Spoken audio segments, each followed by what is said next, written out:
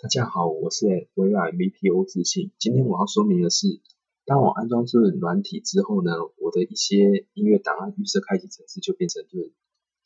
那我有，我如果原本有习惯播放音乐的软体，例如说 Windows Media Player，那这样会造成我的困扰。那我该如何取消音乐档案预设开启的程式为润呢？首先，我们执行润。按设定，选择档案类型，在这里呢，您可以将您不想要将不想要将档案以润软体预设播放的档案类型取消勾选，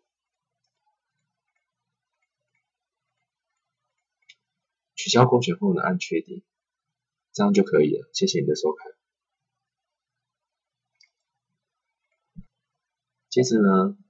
你可以再去检查一下控制台、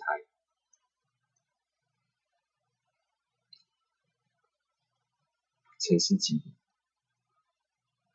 预设城市